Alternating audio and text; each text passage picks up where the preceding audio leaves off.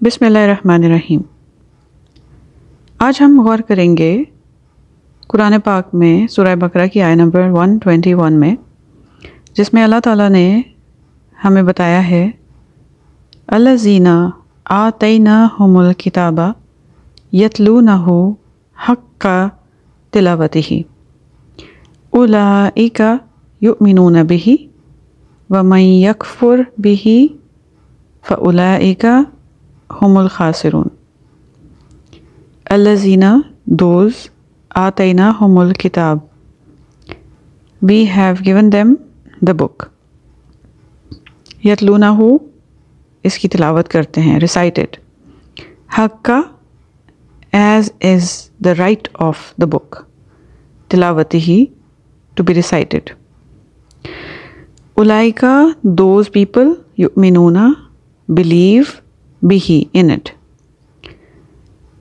इस आया से हमें बिल्कुल वाज तौर पे, बिल्कुल वाज तौर पे ये बात पता चलती है कि जिन लोगों को अल्लाह जीना, जिन लोगों को आतना हमल किताब, जिनको भी किताब अता हुई, वो इसकी ऐसे तिलावत करते हैं जैसे इसको तिलावत करने का हक है।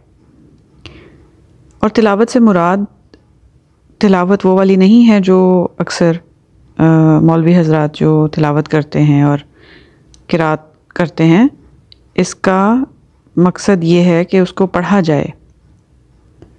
तो कुरान पाक को वो लोग जिनको अल्लाह ताला ने किताब अता की और वो उसको पढ़ते हैं, जैसे कि उसको पढ़ने का हक है, असल में वही तो लोग हैं जो ईमान लाए हैं। और जो लोग इस पे ईमान नहीं लाते, वो लोग खसारे में होंगे। अब यहाँ से हमें क्या पता लगता है? हम लोगों ने कुरान को पढ़ना छोड़ दिया हुआ है। तो यहाँ पे तो अल्लाह ताला ये बता रहे हैं कि जो लोग कुरान पढ़ते हैं, असल में वो लोग हैं जो कुरान पर ईमान लाए हैं। कुरान पर ईमान लाना इज़ इक्वल टू कुरान को पढ़ना और ऐसे पढ़ना जैसे उसको पढ़ने का हक है। अब उसको पढ़ने का हक क्या है? हम अपने स्कूल कॉलेजेस के निसाब की किताबों को कैसे पढ़ते हैं? ऐसे पढ़ते हैं कि हमने इम्तहान पास करने होते हैं। तो ज़िंदगी तो एक इम्तहान है, और इसको पास करने के लिए हमने कुरान को पढ़ना है। और ऐसे ही पढ़ना है, इतनी अच्छी तरह पढ़ना है कि ज़िंदगी का इम्तहान पास हो जाए। किताब को पढ़ने का हक क्या होता है कि आप उसको ऐसे पढ़ें कि आप उसको जब इम्तहान में इस्तेमाल करें तो आप उसको उसके ज़रिए से इम्तहान में पास हो जाएँ और फेल ना हों। तो हमने दुनिया की ज़िंदगी एक इम्तहान है। निसाब हमें दिया गया है कुरान के ज़रिए। और हमने इस किताब को ऐसे पढ़ना था कि हम दुनिया के हर इम्तहान में पास हो जाते। तो अगर हम इस किताब को पढ़ ही नहीं रहे तो हम पास कैसे होंगे? अगर हम इस किताब को पढ़ ही नहीं रहे तो हम दुनिया के इम्तहान में पास कैसे होंगे? तो जब तक हम इसको ऐसे नहीं पढ़ेंगे, जैसे कि हमें समझ आ जाए और हम दुनिया के इम्तहान में पास हो जाएँ और जन्नत में चले जाएँ तो इसका मतलब है कि हमने इसका हक अदा नहीं किया। और अगर हमने इसका हक अदा नहीं किया तो अल्लाह ताला यहाँ पे हमें इशारा कर रहे हैं कि जो इसको ऐसे नहीं पढ़ता, कि इसका हक अदा हो जाए। इसका मतलब है कि उसने इस पर मुकम्मल ईमान वो कभी लाया ही नहीं। ईमान होता तो उसको पढ़ते और ऐसे पढ़ते कि जैसे उसका हक था पढ़ने का। तो जिसको भी इस किताब पर ईमान है, अल्लाह ताला पर ईमान है, अल्लाह ताला की बातों पर ईमान है, वो इसको लाजमी पढ़ेगा और ऐसे पढ़ेगा जैसे इसे पढ़ने का हक है।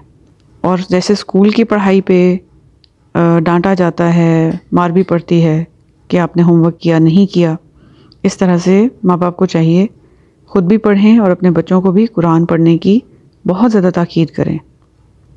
कुरान पढ़ने से आपका कभी भी वक्त ज़ाया नहीं होता। दुनिया की हर एक्टिविटी जिसमें अल्लाह को याद ना किया जाए, वो आपका वक्त ज़ाया करती है। कुरान पढ़ने से आपका कभी भी वक्त ज़ाया नहीं होता। तो इसको अपनी रोज़मर्रा ज़रूरियात में प्रायोरिटी दें। कुरान को प्रायोरिटी दें। इसको अपने फारिग वक्त के लिए ना छोड़ें। इसके लिए अपने आप को फारिग करें। कुरान पढ़ने के लिए अपने आप को फारिग करें। यह ना सोचें कि आप जी थोड़ी देर के लिए जब आप फारिग होंगे अपने दुनिया के रोज़मर्रा के झमेलों से तो फिर आप कुरान को टाइम देंगे। नहीं। कुरान को सबसे पहले टाइम दें, फिर रोज़मर्रा के बाकी काम करें। जो लोग इस तरह करते हैं, वही लोग हैं जो हकीकी तौर पर, जो हकीकी तौर पर इस पर ईमान लाए हैं। वही इसका हक अदा करते हैं और वही इस पर ईमान लाए हैं।